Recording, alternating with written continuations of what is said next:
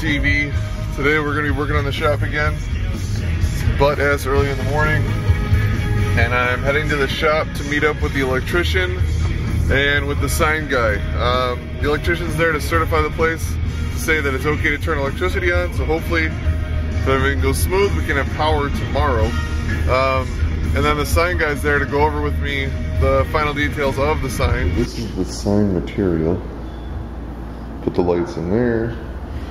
And then the tattoo and piercing part is just gonna be these like letters.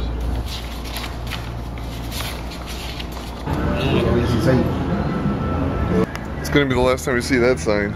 Just put down my initial payment for the sign. I paid 1600 up front uh, to have him make it, and then it's a thousand on completion. So now I just gotta get home and send him the original artwork in vector format so we get this bad boy rocking. Yes, one last thing I gotta worry about. Now let's go check on the electricians and see what's going on back there.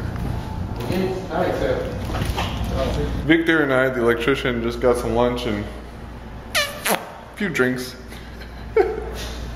As we're waiting for his Dominican friends to show up to give me a quote to do the floor, which I believe is called piso.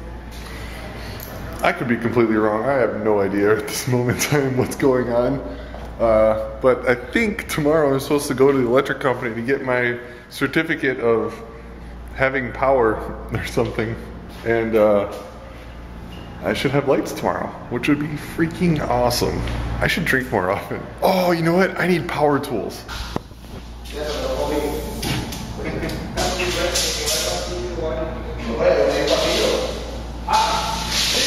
Damos a que quiera. Black, negro, negro, negro. Negra.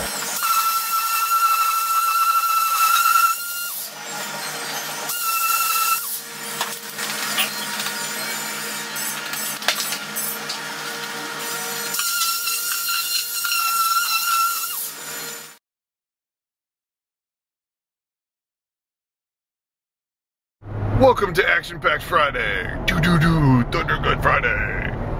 Sorry, I have no sleep. So I have a call into another insurance guy who he's supposed to give me more quotes. At this time, I told him that I'm running a beauty salon that sells jewelry and does permanent permanent makeup.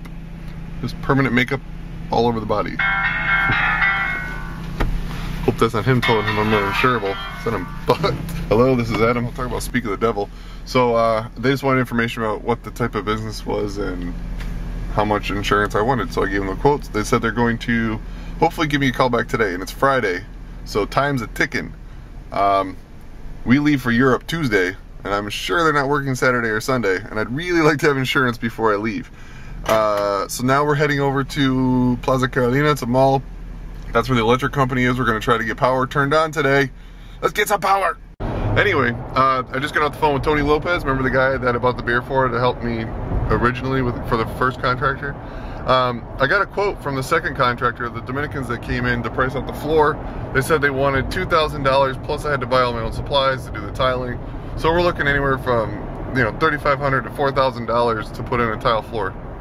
Uh, Tony Lopez quoted me three. Either way, all that shit's getting expensive quick. So I'm scrapping the tile floor. We're just going to either paint it black or I'm going to see how much epoxy is to do. But we're going the cheap route for the floor because frankly, I, I really just don't care about the floor.